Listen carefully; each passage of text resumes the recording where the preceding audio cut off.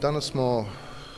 govorimo o pokrinjskoj vladi, o privrednoj komori Vojvodine, gosti privredne komore Pariza, zapravo privredne komore celog parijskog regiona. Ovaj sastanak su zajednički organizovali naša privredna komora i privredna komora Pariza uz pomoć naravno naših prijatelja iz e, oblasti Valdoa, to je severni deo Pariza. Naš cilj je da e, upoznamo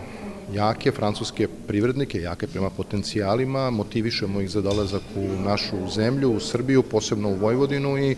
s tim u vezi e, ćemo danas imati e, brojne sastanke i neposredno kontakte sa zainteresovanim privrednicima, ali predstavit ćemo i potencijale za ulaganja, posebno e, u onim krajevima Vojvodine koji jednostavno nisu dovoljno razvijeni, mislim na zapadno Bački okrug, na severno-banatski okrug, gde i država, vlada Republike Srbije, preko nadležnih agencija i pokrinjska vlada, izdvajaju i najveće podsticaje za buduće ulagače. Inače, e,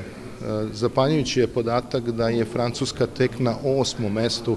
kada je reč o direktnim stranim investicijama, mnoge druge zemlje, zemlje su ispred nje i to je nešto što po rečima francuskih privrednika zabrinjava i što jeste prostor za e, saradnju, taj prostor treba iskoristiti i zbog toga smo ovde, predstavit ćemo potencijale, predstavit ćemo konkretne posticaje, bit ćemo veoma pragmatični